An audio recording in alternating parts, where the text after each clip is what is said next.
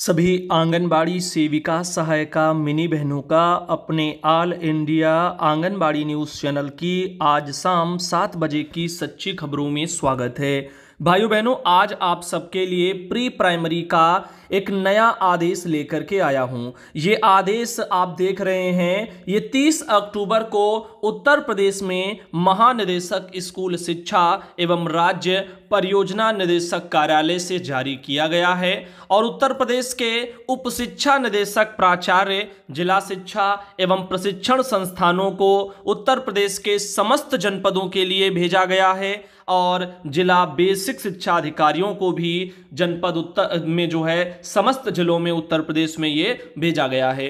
विषय जो इस लेटर का दिया गया है प्री प्राइमरी का ये आदेश है, जिसमें लिखा गया है कि प्री प्राइमरी शिक्षा से संबंधित बावन सप्ताह के गतिविधि आधारित कैलेंडर मैनुअल पर आंगनबाड़ी कार्यकर्तियों के क्षमता संवर्धन के लिए जनपद एवं ब्लॉक स्तरीय तीन दिवसीय अभिमुखीकरण कार्यशाला के संबंध में है।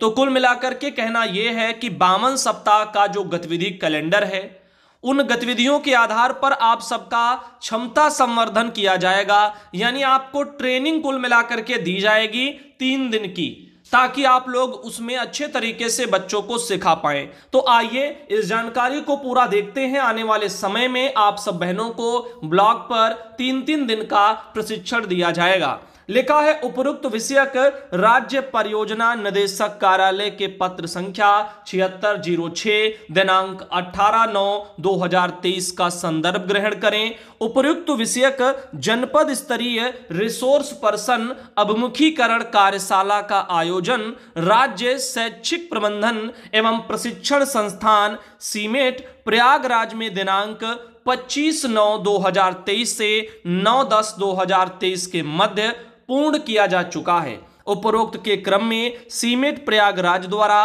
प्रशिक्षित संदर्भदाताओं द्वारा जनपद स्तर पर ब्लॉक स्तरीय संदर्भदाता का अभिमुखीकरण किया जाएगा। ब्लॉक स्तर पर उक्तानुसार प्रशिक्षित ब्लॉक स्तरीय संदर्भदाताओं द्वारा आंगनबाड़ी कार्यकर्ती का प्रशिक्षण प्रारंभ किया जाएगा। जनपद स्तर एवं ब्लॉक स्तर पर प्रशिक्षण समय सारणी एवं दिशा निर्देश भी निम्नवत हैं। जनपद स्तर पर कार्यशाला 30 अक्टूबर से 10 नवंबर के मध्य होगी और ब्लॉक स्तर पर जो कार्यशाला है, वो 20 नवंबर से पाँच दिसंबर के मध्य होगी। साथ ही बात करें अगर जनपद स्तरीय अभिमुखीकरण कार्यशाला के लिए दिशा निर्देश की तो वो आप यहाँ देख सकते हैं, जिसके लिए बताया गया कि जनपद स्तरीय कार्यशाला हेतु सीमेट प्रयागराज द्वारा प्रशिक्षित संदर्भदाताओं की जो सूची है, वो भी प्रेषित की जा रही है। प्राचार्य, जिला शिक्षा एवं प्रशिक्षण संस्थान की अध्यक्षता में जिला समन्वयक प्रशिक्षण, प्रभारी प्रशिक्षण प्रवक्ता और एसआरजी एवं सीमेट के द्वारा प्रशिक्षित जो संदर्भदाता हैं, उनके साथ में बैठक आयोजित करते हुए कार्यशाला हेतु आवश्यक संसाधनों की उपलब्धता सुनिश्चित की जाए और प्रशिक्षण के पूर्व निम्नांकित व्यवस्थाएँ भी प्रशिक्षण के सुचारू रूप से संचालन के लिए पूर्ण की जाएँ। यानी जो ट्रेनिंग होगी, उसको लेकर के पहले क्या क्या व्यवस्थाएँ होनी है तो उन व्यवस्थाओं में देखिए क्या क्या है। जिसमें लिखा गया है, लैपटॉप ज़रूरी है, एक प्रोजेक्टर ज़रूरी है स्क्रीन के साथ में प्रोजेक्टर भी होना चाहिए। तो यहाँ पर ये इसलिए ज़रूरी है ताकि आप सबको वहाँ वीडियो स्वरूप या अन्य कोई भी जो इंफॉर्मेटिव चीज़ें होंगी, वो बड़ी सी प्रोजेक्टर स्क्रीन के ज़रिए आपको अच्छे से समझाई जाएँगी। इंटरनेट कनेक्टिविटी होनी चाहिए जनरेटर होना चाहिए। मान लो लाइट नहीं आ रही तो वो प्रोजेक्टर स्क्रीन को चलाने के लिए जनरेटर की भी व्यवस्था हो। प्रतिभागियों की बैठक व्यवस्था के लिए पर्याप्त फर्नीचर हो। तो यहाँ पर बात फर्नीचर की की गई है लेकिन आप देखते हैं काफ़ी जगह फर्नीचर की जगह बहनों को टाट पट्टियों पर बिठा दिया जाता। अब ऐसे में विभाग इस बारे में थोड़ा सोचे और आप बहनों भी यहाँ पर देख सकती हैं कि प्रतिभागियों की बैठक व्यवस्था के लिए पर्याप्त फर्नीचर की बात की जा रही है। और फर्नीचर में आ, कहने के लिए तो जो है हर तरह का फर्नीचर में आ जाएगा। लेकिन फर्नीचर से यहाँ चेयर की बात आप समझ सकते हैं, ना कि टाट पट्टियों की या फिर खाली ऐसे ही ज़मीन की। स्वच्छ एवं क्रियाशील शौचालय की व्यवस्था भी वहाँ पर होनी चाहिए, क्योंकि प्रतिभागी आएँगे तो कोई दिक्कत ना हो। स्वच्छ पेयजल की भी व्यवस्था वहाँ पर होनी चाहिए, हैंड वॉश एवं सैनिटाइजर की भी व्यवस्था होनी चाहिए। और प्रतिभागी में लिखा गया है कि प्रत्येक विकास खंड से दो नोडल शिक्षक संकुल और बाल विकास सेवा पुष्टाहार विभाग से दो सुपरवाइजर भी प्रतिभागी के रूप में रहेंगी। अभिमुखीकरण कार्यशाला में एक बैच में अधिकतम 50 प्रतिभागियों की व्यवस्था भी की जाएगी। मिनट टू मिनट कार्यक्रम में लिखा गया कि उपयुक्त कार्यशाला तीन दिवसीय है, जिससे संबंधित दिवसवार मिनट टू मिनट कार्यक्रम संलग्न करके प्रेषित किया जा रहा है, जिसके लिए संलग्नक दो दिया गया है। अभी हम संलग्नक दो भी आपको इस वीडियो में दिखाएँगे। राज्य स्तर पर प्रशिक्षित डायट मिंटर यानी संबंधित डायट, जिनके द्वारा कार्यशाला के प्रत्येक दिवस का अभिलेखीकरण कराया जाएगा तथा कार्यशाला के मुख्य बिंदुओं को सम्मिलित करते हुए एक संक्षिप्त आख्या प्राचार्य जिला शिक्षा प्रशिक्षण संस्थान के माध्यम से राज्य परियोजना कार्यालय को भी उपलब्ध कराई जाएगी।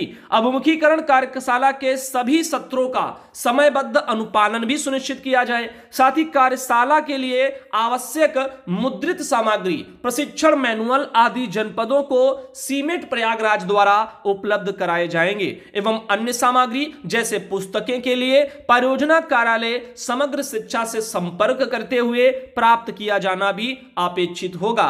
प्रत्येक प्रतिभागी को calendar, manual, letter pad, pen एवं फोल्डर बैग, इन सब की उपलब्धता भी सुनिश्चित की जाएगी। तो आप देखिएगा, यहाँ पर ये सब बातें लिखी गई। वहीं ब्लॉक स्तरीय अभिमुखीकरण कार्यशाला से संबंधित दिशा निर्देश भी आए हैं कि जनपद स्तरीय कार्यशाला एवं ब्लॉक स्तरीय जो कार्यशाला, इनके मध्य दस दिवसों का अंतराल भी रखा जाएगा। उक्त का उद्देश्य यह है कि जनपद स्तर पर प्रशिक्षित संदर्भदाता, ब्लॉक स्तरीय कार्यशाला हेतु समस्त व्यवस्थाएँ भी सुनिश्चित करा लें। जिला शिक्षा एवं प्रशिक्षण संस्थान द्वारा प्रशिक्षित किए गए जो ब्लॉक हैं, स्तरीय संदर्भदाता, ब्लॉक स्तरीय कार्यशाला, इनमें को लोकेटेड आंगनबाड़ी केंद्रों की आंगनबाड़ी कार्यकर्ता के लिए उन्मुखीकरण, तीन दिवसीय कार्यशाला संपन्न कराएँगे। प्रशिक्षणार्थी, आंगनबाड़ी कार्यकर्ती की सूची ब्लॉकवार संलग्न तीन के अनुसार संलग्न करके प्रेषित है और खंड शिक्षा अधिकारी का दायित्व होगा कि ब्लॉक स्तरीय कार्यशाला की पूर्व में तैयारियाँ निम्नवत सुनिश्चित की जाएँ। तो आइए देखते हैं क्या यहाँ पर लिखा गया है। ब्लॉक स्तरीय यानी आंगनबाड़ी बहनों के स्तर की जो कार्यशाला होगी प्रशिक्षण की, उसमें क्या क्या होना चाहिए? उसमें भी मुझे सेम टू सेम चीज़ें दिखाई दे रही हैं। लैपटॉप, प्रोजेक्टर और स्क्रीन के साथ इंटरनेट कनेक्टिविटी जनरेटर प्रतिभागियों की बैठक के लिए पर्याप्त फर्नीचर, स्वच्छ क्रियाशील शौचालय, स्वच्छ पेयजल की व्यवस्था हैंड वॉश एवं सैनिटाइजर की व्यवस्था, प्रतिभागी में संलग्न तीन के अनुसार आंगनबाड़ी कार्यकर्ता प्रतिभागी के तौर पर इसमें रहेंगी। तो ये आंगनबाड़ी बहनों, आप सबके लिए जो नियम है, वो ये वाले हैं। अब साथ ही अभिमुखीकरण कार्यशाला में एक बैच में अधिकतम जो है पचास प्रतिभागियों की व्यवस्था होगी और आगे लिखा गया मिनट टू मिनट कार्यक्रम के बारे में कि उपयुक्त कार्यशाला तीन दिवसीय है। प्रत्येक दिवस का मिनट टू मिनट कार्यक्रम भी संलग्न करके प्रेषित है। प्रत्येक प्रतिभागी को calendar manual, letter pad, pen, folder और बैग इन सब की उपलब्धता भी सुनिश्चित की जाए। साथ ही साथ ब्लॉक स्तरीय संदर्भदाता के रूप में प्रशिक्षित नोडल संकुल का दायित्व है कि प्रत्येक बैच के कार्यशाला की संक्षिप्त रिपोर्ट तैयार करें। खंड शिक्षा अधिकारी के माध्यम से प्राचार्य, जिला शिक्षा प्रशिक्षण संस्थान, जिला शिक्षा अधिकारी संबंधित जनपद को अपने उपलब्ध कराएँगे। साथ ही राज्य परियोजना कार्यालय स्तर से प्रेषित गूगल फॉर्म को निर्धारित समयावधि में भरने का उत्तरदायित्व तो खंड शिक्षा अधिकारी का होगा। ब्लॉक स्तरीय प्रशिक्षण के लिए आंगनबाड़ी कार्यकर्ता को प्रशिक्षण मैनुअल उपलब्ध कराया जाएगा। इसके लिए राज्य परियोजना कार्यालय से निर्धारित जेम बिड पर चयनित एल आपूर्तिकर्ता द्वारा मैनुअल आपूर्ति ब्लॉक स्तर पर सुनिश्चित की जाए। उक्त के अतिरिक्त अन्य सामग्री यथा बिग बुक्स, प्राइमर कार्ड्स, खुशी की चौपाल और होलिस्टिक जो रिपोर्ट कार्ड आदि का वितरण को लोकेटेड आंगनबाड़ी केंद्रों में किया जाना है, जिसके लिए पृथक से निर्देश निर्गत किए जाएँगे। तो आप सब आंगनबाड़ी बहनें जो को लोकेटेड वाले केंद्रों की हैं, यानी प्राथमिक विद्यालय के प्रांगण वाली हैं उन सबको ये सब सामग्री मिलेगी जो कि मैंने बताई। बिग बुक्स है प्राइमर कार्ड्स है, खुशी की चौपाल है और होलिस्टिक रिपोर्ट कार्ड है, ये सब चीज़ें मिलेंगी। और इसके संबंधित वित्तीय प्रावधान भी किए गए हैं। अब क्योंकि इन कार्यक्रमों के लिए खर्चा भी लगेगा तो वित्तीय प्रावधान में देखिए क्या लिखा गया कि जनपद स्तरीय, कौन से? जनपद स्तरीय के लिए यह लिखा गया है। कार्यशाला में प्रति प्रतिभागी रुपए 780 की दर से तीन दिवस के लिए यहाँ पर बजट आया है सत्ताईस लाख इकसठ हज़ार दो सौ रुपए। साथ ही और ब्लॉक स्तरीय कार्यशाला के लिए प्रति प्रतिभागी सात सौ पचास रुपए की दर से तीन दिवस के लिए तीन करोड़ छियानवे लाख सत्ताईस हज़ार रुपए की लिमिट जिला परियोजना कार्यालय को जारी की जा चुकी। तो यहाँ पर आपने देखा, एक चीज़ तो अच्छी मिली। यहाँ पर ज़िले पर जो लोग जाएँगे, उनके लिए देखो सात सौ अस्सी रुपए। कितने रुपए? सात सौ अस्सी रुपए आपने देखे हैं। यहाँ पर प्रतिदिन के हिसाब से प्रति प्रतिभागी की एक कॉस्ट है, जो उनके लिए समझ एक तरह से खर्चा आएगा, पड़ेगा जनपद स्तर पर। वहीं ब्लॉक स्तर पर सात सौ पचास से तीस रुपया बस कम है। अब कोई भी कारण हो सकते हैं, जैसे वहाँ पर उनको मटेरियल में कुछ अलग चीज़ें दी जाएँ या प्रतिभागियों में कुछ अलग व्यवस्थाएँ हो, ऐसा हो सकता है। तो इसलिए तीस रुपए का ये डिफरेंस आया है। बाकी यहाँ पर ब्लॉक स्तरीय प्रशिक्षण में आंगनबाड़ी कार्यकर्ता के टीए की व्यवस्था भी की गई। बताओ, बताया गया ब्लॉक स्तर प्रशिक्षण में आंगनबाड़ी कार्यकर्तियों के टीए की व्यवस्था भी की गई, जो कि वित्तीय नियमों के अंतर्गत संबंधित को देय होगा। अवमुक्त धनराशि का उपभोग फाइनेंशियल मैनेजमेंट एंड प्रोक्योरमेंट 2018 के प्रावधानों के अंतर्गत किया जाए तथा संबंधित वे पीएफएमएस पोर्टल प्रबंधन पर पूर्व प्राथमिक स्तर के अंतर्गत माह नवंबर दिसंबर के वे में अंकित किया जाए। तो ये नवंबर दिसंबर में आपकी ट्रेनिंगें शुरू हो सकती हैं। अभी आगे चलते हैं और देखते हैं लेटर में क्या क्या है। संबंधित मद में किए गए उपभोग से संबंधित जो बिल बाउचर हैं, आदि पत्राजात जनपद एवं ब्लॉक स्तरीय कार्यालय में संरक्षित रखे जाएँगे।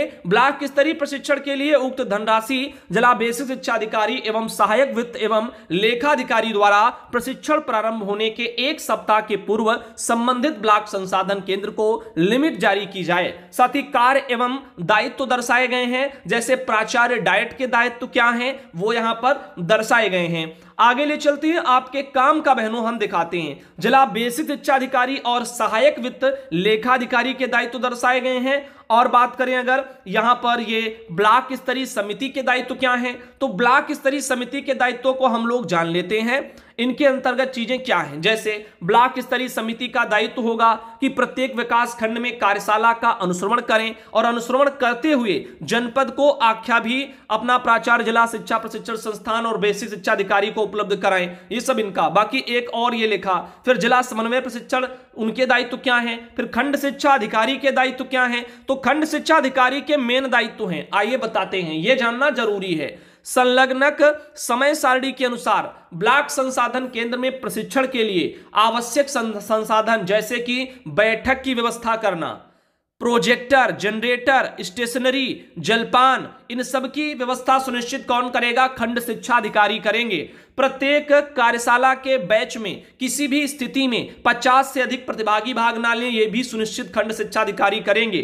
कार्यशाला के यथा आवश्यक फोटोग्राफ आदि संकलित करते हुए कार्यशाला का एक एल्बम बनाना भी कौन सुनिश्चित करेगा? खंड शिक्षा अधिकारी करेंगे। खंड शिक्षा अधिकारी द्वारा शिक्षकों के माध्यम से शॉर्ट वीडियो क्लिप बनाते हुए जिला शिक्षा प्रशिक्षण संस्थानों को भी उपलब्ध कराई जाएँगी। ये भी चीज़ें यहाँ पर मेंशन की गई हैं। साथ ही इस तरह से पूरा एक ये मैटर आया है तो आंगनबाड़ी बहनों, तीन दिवसीय आपको प्रशिक्षण मिलना है। विजय किरण आनंद, राज्य परियोजना निदेशक, समग्र शिक्षा उत्तर प्रदेश से, उन्होंने लेटर जारी किया।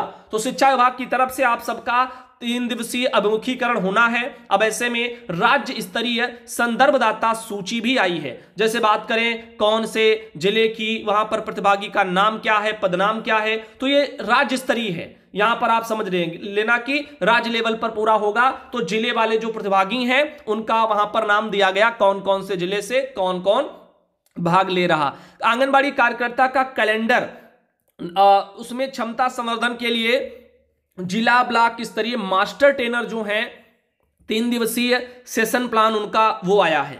इसमें आप देख सकते हैं, समय की बात अगर हम करें तो नौ बजे से दस बजे रजिस्ट्रेशन और सामग्री वितरण दिया गया। दिवस एक की बात हो रही, रजिस्ट्रेशन और प्रतिभागियों को सामग्री वितरण की जाएगी नौ बजे से दस बजे। फिर उसके बाद दस बजे से साढ़े दस बजे प्री टेस्ट होगा। प्रशिक्षण पूर्व ईसीसी अवधारणा पर प्रतिभागियों की समझ देखी जाएगी कितनी है। फिर साढ़े दस बजे से दस पैंतालीस पर ईसीसी संदर्भ में राष्ट्रीय शिक्षा नीति 2020 पर चर्चा होगी। ईसीसी संदर्भ में राष्ट्रीय शिक्षा नीति 2020 और राज्य की पहल पर चर्चा होगी। फिर क्या होगा? फिर दस पैंतालीस से ग्यारह पंद्रह पर यूपी में ईसीई का मॉडल देखा जाएगा। अकादमिक सत्र 2023-24 में ईसीसीई के लिए रणनीति और क्रियान्वयन पर चर्चा। फिर ग्यारह पंद्रह से जो है, साढ़े ग्यारह पर चाय के लिए ब्रेक वगैरह होगा, लंच वाला। चाय वाला आप समझ लीजिए, छोटा सा ब्रेक। साथ ही ग्यारह तीस से फिर एक बजे जो चलेगा लंबा, आंगनबाड़ी में एक दिन, ये रहेगा, जिसमें आंगनबाड़ी दैनिक दिनचर्या का परिचय एवं जो बावन सप्ताह के वार्षिक कैलेंडर पर पूरी चर्चा की जाएगी। ये लंबा चलेगा। फिर उसके बाद एक बजे से दो बजे क्या होगा? फिर लंच होगा। तो लंच होगा। फिर होगा दो बजे से तीन बजे क्या होगा? कैलेंडर निर्देशिका का परिचय वो दर्शाया गया। तो कैलेंडर निर्देशिका की आवश्यकता, उद्देश्य, संरचना, उपयोग, इनके बारे में समझ विकसित की जाएगी। फिर तीन बजे से तीन पंद्रह तक क्या होगा? एनेरेजैसर गतिविधियाँ यहाँ पर मेंशन की गई हैं, किस तरह की हैं, अगर किसी को पता हो तो कमेंट में बता सकते हैं। साथ ही तीन पंद्रह से चार पंद्रह तक कैलेंडर निर्देशिका का परिचय होगा। कैलेंडर निर्देशिका की आवश्यकता, उद्देश्य, संरचना, उपयोग, इनके लिए समझ विकसित होगी। चार पंद्रह से साढ़े चार बजे तक फिर चाय के लिए ब्रेक होगा। फिर साढ़े चार से साढ़े पाँच कैलेंडर निर्देशिका का उपयोग और अभ्यास होगा। निर्देशिका में दिए गए विवरण एवं उसके साथ सामग्री की मैपिंग पर चर्चा होगी। आधार पर जो है दिवसवार, चक्रवार पाठ योजनाओं का निर्माण होगा। फिर साढ़े पाँच से छह बजे समापन और प्रतिक्रिया होगी। समूह का निर्माण, अकादमिक सामग्री, वितरण एवं पूरे दिवस के बारे में फीडबैक और जो है यहाँ पर लिया जाएगा। फिर दिवस दो क्या होगा दूसरे दिन? फिर वही चीज़ें, साढ़े नौ से फिर दस क्या होगा? पिछले दिन का रिकैप किया जाएगा। पिछले दिन में सीखने को याद करें और संक्षेप में क्विज के द्वारा ये सब। दस से फिर ग्यारह पैंतालीस तक समूह गतिविधियाँ होंगी। अपनी सीख का प्रदर्शन करेंगे। फिर ग्यारह पैंतालीस से बारह में चाय ब्रेक होगा। ये दूसरे दिन का मैं बता रहा हूँ, तीन दिन होगा ना तो दूसरे दिन का। अब बारह से एक के बीच क्या होगा? प्रथम चक्र की गतिविधियाँ और सामाजिक एवं भावनात्मक विकास यहाँ पर दिए जाएँगे कैलेंडर निर्देशिका के हिसाब से। फिर एक बजे से दो बजे लंच होगा। फिर दो बजे से तीन पंद्रह तक दूसरा चक्र थीम आधारित गतिविधियों का चलेगा। आयु वर्ग के हिसाब से अवधारणाओं पर गतिविधियाँ कराई जाएँगी, संज्ञानात्मक विकास और इन चीज़ों को लेकर। फिर तीन पंद्रह से चार पंद्रह तीसरे चक्र से संबंधित है, कैलेंडर निर्देशिका के अनुसार इसमें होगा। फिर यहाँ पर चार पंद्रह से साढ़े चार चाय ब्रेक होगा। साढ़े चार से साढ़े पाँच बच्चों में शुरुआती भाषा का ज्ञान बनना वो देखा जाएगा। जैसे चहक हो गया, प्राइमर कार्ड्स हो गया और कलांकुर हो गया, पहल हो गया, इन सब रिसोर्स का प्रयोग होगा और बच्चों को शुरुआती भाषा का ज्ञान विकसित करने पर ज़ोर होगा। साढ़े से छह क्या होगा? समापन और प्रतिक्रिया होगी। पूरे दिवस के बारे में फिर फीडबैक लिया जाएगा। फिर तीसरे दिन का शुरू होगा, तीसरे दिन क्या होगा? लास्ट वाले दिन। साढ़े नौ से दस क्या होगा? पिछले दिन का रिकैप किया जाएगा। यानी पिछले दिन क्या क्या हुआ वो सब याद कराया जाएगा। एक तरह से दोबारा से रिवाइज कराया जाएगा। साथ ही दस बजे से साढ़े ग्यारह क्या होगा? बच्चों में शुरुआती संख्या का ज्ञान बनाया जाएगा। साथ ही साथ परिकलन वंडर बॉक्स किट और पहल जैसे रिसोर्स का प्रयोग करके होगा। फिर साढ़े ग्यारह से बारह क्या होगा? चाय ब्रेक होगा। और उसके बाद में फिर जो है ये बारह बजे से एक पंद्रह तक कहानी और भावगीत कराए जाएँगे। बिग बुक है, कहानी की किताबें जो सब हैं उनके आधार पर। फिर एक पंद्रह से दो पंद्रह लंच होगा। फिर दो पंद्रह से तीन बजे तक क्या होगा? ऑडियो विजुअल जो है कंटेंट दिखाया जाएगा। तो उसमें डिजिटल सामग्री सब दिखाई जाएगी। तीन बजे से चार बजे समेकन एवं प्रतिक्रिया होगी। तो यहाँ पर प्रतिभागी अपनी प्रतिक्रिया भी साझा करेंगे। तो वो सब चीज़ें यहाँ पर इस तरह से मेंशन की गई। वहीं संलग्नक तीन में आप देखिए, anganwadi centre training block level के हिसाब से है। यानी जैसे बात करें अगर आगरा जनपद की तो लिखा है नंबर ऑफ़ ब्लॉक कितने? सोलह हैं। तो नंबर ऑफ़ जो है प्रतिभागी जो रहेंगे, वो एक हज़ार चौवन रहेंगे। तो उनकी संख्या आई यानी कौन से ज़िले में कितने ब्लॉक हैं और कितने प्रतिभागी हैं। इसका हिसाब किताब लगाया गया। उसी हिसाब से फिर बजट भी तो आया, इसलिए। तो यहाँ पर ये पूरा मैटर दिया गया है। कहाँ पर कैसा क्या सिचुएशन है, और भी चीज़ें हैं। डिस्ट्रिक्ट लेवल ट्रेनिंग के बारे में ब्लॉक लेवल ट्रेनिंग के बारे में सब आंकड़े सब दर्शा दिए गए, कैसे कैसे क्या होना है। खैर, उम्मीद है आप लोगों को ये जानकारी अच्छी लगी होगी। गीता बहन है महाराजगंज से, जिन्होंने जानकारी भेजी है, बहन को भी धन्यवाद। कल सुबह फिर आप लोगों को